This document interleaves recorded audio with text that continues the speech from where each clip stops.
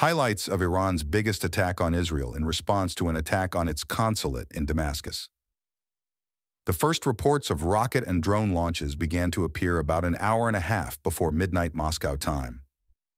The Iranian mission to the UN stated that the attack was a response to aggression against diplomatic targets, referring to Article 51 of the UN Charter on the Right to Self-Defense. According to the Israeli military, more than 200 missiles and drones were launched, including dozens of surface-to-surface -surface missiles.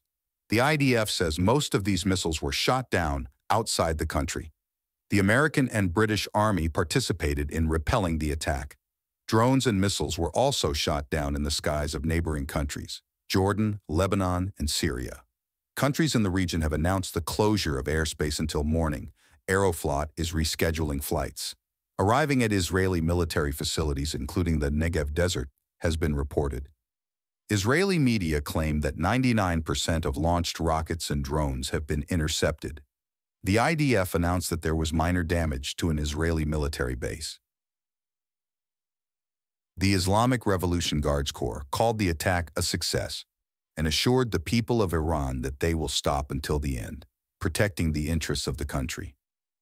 Western countries condemned the Iranian attack. The UN Secretary-General said that the world cannot afford another war and called for de-escalation. Saudi Arabia, one of the major players in the region, has also called for restraint. The Israeli media, referring to unnamed officials, report that a decisive response to the Iranian